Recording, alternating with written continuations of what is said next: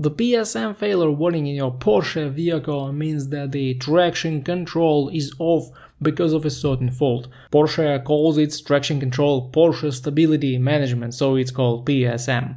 And there are several things that may trigger the warning. First of all, you should understand that whenever you see this error message, the car may behave unusually on the road and you need to drive carefully. Uh, the brakes will still function, uh, but if the vehicle starts skidding or loses traction, the stability control will not kick in, so be careful, especially on a slippery road.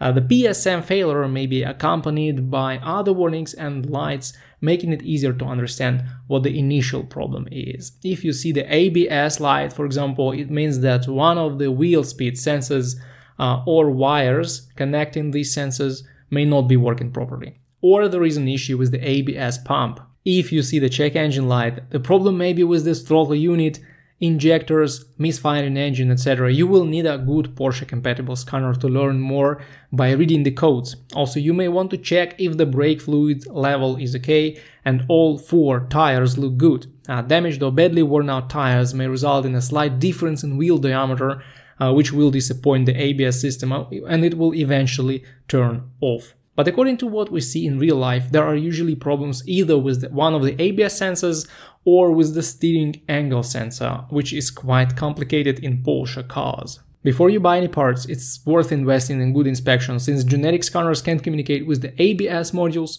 and other tricky computers that your Porsche has.